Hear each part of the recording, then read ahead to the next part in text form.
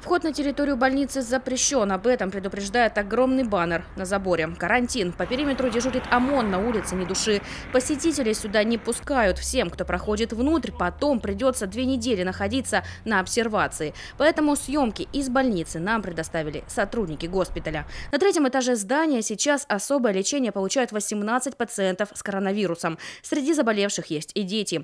Абсолютно все вынуждены постоянно носить респираторы второго уровня защиты. Пациентов пациентов лечат противовирусными препаратами, антибиотиками и жаропонижающими средствами. Универсального лекарства от опасного вируса пока не нашли. Врачи всегда на чеку. Но чем это опасно, в любой момент э, может быть утяжеление, поэтому они требуют наблюдения у нас.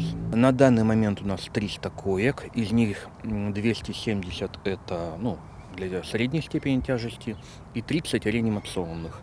Есть резерв еще для 8 реанимационных коек. Э, думаю, что, надеюсь, что это не потребуется.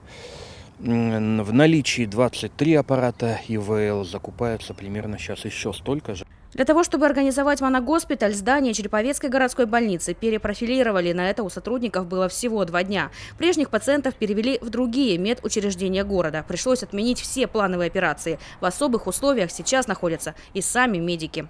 Медицинскую помощь пациентам сейчас оказывает 18 человек. Работают они вахтовым методом по 14 дней. Затем их поместят на карантин еще на две недели. Сейчас сотрудники живут в этом же здании, но на первом этаже. Со своими родными и близкими они могут общаться только по телефону.